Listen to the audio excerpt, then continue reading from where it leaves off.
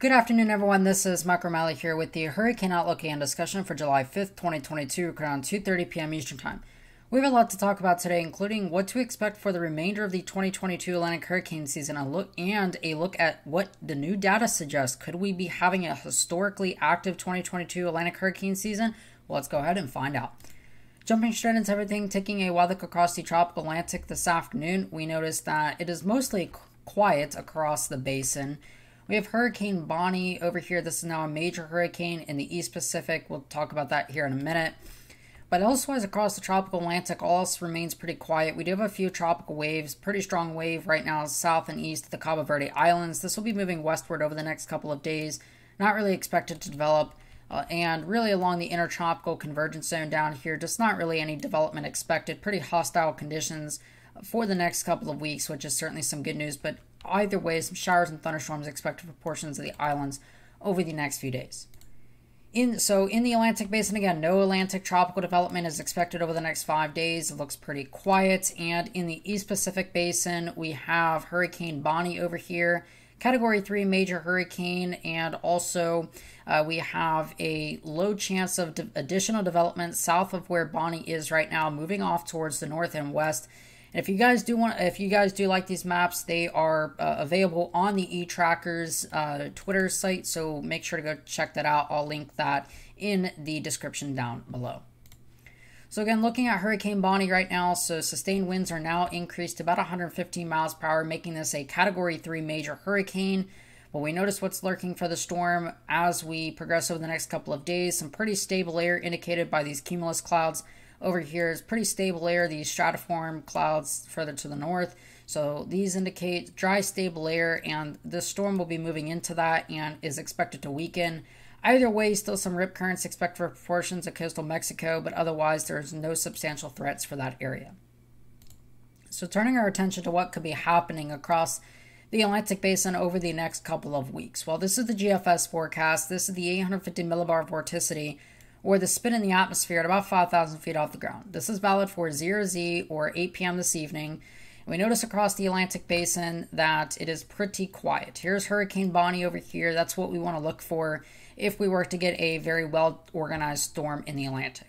And so throughout the whole entire forecast period, you actually see, even through hour 80, uh, 384, this is through the 21st of July, there's no activity across the Atlantic basin that is expected. Now, with that being said, if we actually look at the GFS ensembles and we look at the mean sea level pressure, now you notice that what's going to be happening over the next couple of weeks is we will have generally lower than normal pressures across most of the southeast US, the Gulf of Mexico, and the southwestern Atlantic. This actually is pretty much the prime time for these uh, frontal systems to come down from the you know continental United States dips southward and then eventually stall out as it modifies under the tropical air mass in the Atlantic and ultimately that favors tropical cyclone formation on the tail end of these fronts. So I'm not really saying that anything is going to happen, but this is kind of the prime time months, June and July for that. And then once we start getting out into August, that's when we have to, you know, really start to watch the tropical Atlantic over here.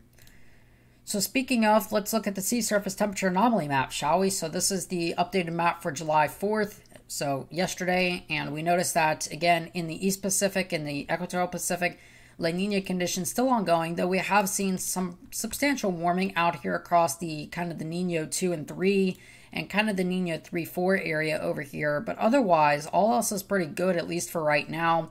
It seems like we're still entrenched within the atmospheric La Nina at the very least and we're expecting multiple easterly wind bursts to occur across the uh, date line over here, across the equatorial Pacific, which will cool the waters again. And subsequently, in the Atlantic basin, rather, uh, we have really warmed up the basin. We have seen some cooling over here, but that will begin to reverse as we get anomalous westerly winds towards the end of the month. And then we also have this uh, cooling going on in the subtropics and that actually is pretty favorable uh, for reducing the instability in the subtropics and creating more instability down here in the deep tropics. So the new European ECMWF uh, forecast came out today, and I think there's some very interesting things to glean from this. All right. So first of all, we're looking at the accumulated cyclone energy index, the ACE index, and this is basically an overall score, if you will, of how busy the season actually is. Okay. So ACE index determines below average season versus average or well above average or hyperactive. Okay. So what we're looking at here is for really all three basins, the West Pacific, East Pacific, and the Atlantic. So we'll focus mainly on the East Pacific and Atlantic for now, right? So the forecast mean is basically showing in the East Pacific about 9, uh, really about 0.9. So th- what this is basically suggesting is about 900%, uh, I believe, is what that translates to uh, of that of the mean. and so basically, what we're really trying to see here and, and suggest is that the East Pacific Basin will be generally quiet than, than normal because if you look at the climate mean, it's suggesting 1.0, which is definitely a little bit less than what the forecast mean is showing. Uh, so we are looking at a less busy season in the East Pacific. And subsequently, in the Atlantic Basin, we have about 140% of the climate mean, or of the forecast mean rather, and that is suggesting an above average hurricane season this year. And of course, then in the West Pacific as well, things are quiet as well. Now, one thing that's very interesting here so, this is actually a comparison between 2017 and 2020. Now, obviously, these two, or in 2022 rather. Now, obviously, these two seasons are vastly different in the way that they're going to shape out. Obviously, 2022 will not be the same as 2017, but there is some interesting comparisons that we can draw and some inferences that we can draw from uh, these comparisons. So, going back to August, September, and October of 2017, we noticed that the deep tropics was above average with a cooler subtropics and warmer uh, up here in the high seas of the North Atlantic. If we jump to the forecast for 2022, we notice that the MDR is actually kind of right above average to slightly just above the long term average there. Uh, still with a cooler subtropical Atlantic and warmer up here in the northern high seas, and that certainly goes to suggest a more amplified blocking pattern this year. Compare that with what we're looking at here. This is basically the precipitation anomalies and this is kind of showing that we have enhanced precipitation anomalies through the main development region into the Caribbean and then continues into the Gulf of Mexico with a kind of drier subtropical Atlantic. So, what this basically goes to tell me is that tropical cyclones will generally be favored this year in the MDR through the Caribbean and into the Gulf of Mexico. This is not necessarily an explicit tropical cyclone track forecast. We can't really get that specific from this, but there's definitely some inferences that we can take away, and that's one of the things that I'm starting to take away from that. So that pretty much lines up with my forecast that I was calling for earlier.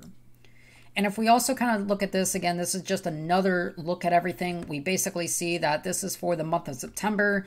We have basically wet anomalies eh, continuing well into the Caribbean and also into the Gulf of Mexico and those extend even to Florida, Texas, Louisiana. Not saying those places will be impacted, but this definitely goes to suggest that we'll see pretty anomalous favorable conditions out across here, and then also kind of a cooler and more dry subtropical Atlantic, which is certainly allowing for more deep tropical activity. Now, combine that with the tropical cyclone density forecast. Again, it's kind of expecting that, generally speaking, the islands could be at risk this year. Again, over here across the Gulf Coast states, and of course the usual spots, including Florida, and then up across the northeast coast here. So there definitely could be the potential for some impacts this year to portions of the northeast U.S. And I'll be sure to stay on top of those, but make sure that you have your hurricane preparedness plan ready to go. It is now beginning to approach the peak of the season again. We are expecting development uh, that could occur even into later July, and then certainly August, September, and October look to be very, very busy. So, again, make sure you have your hurricane preparedness plans ready to go, evacuation routes already pre planned. That's a very important thing. And if you live on the islands, you know, make sure that you are fortified as best as you possibly can be. All right. So, that being said, hope you have a great rest of your afternoon and evening. Of course, I am Michael Remaley, and I'll talk to you guys again some more tomorrow.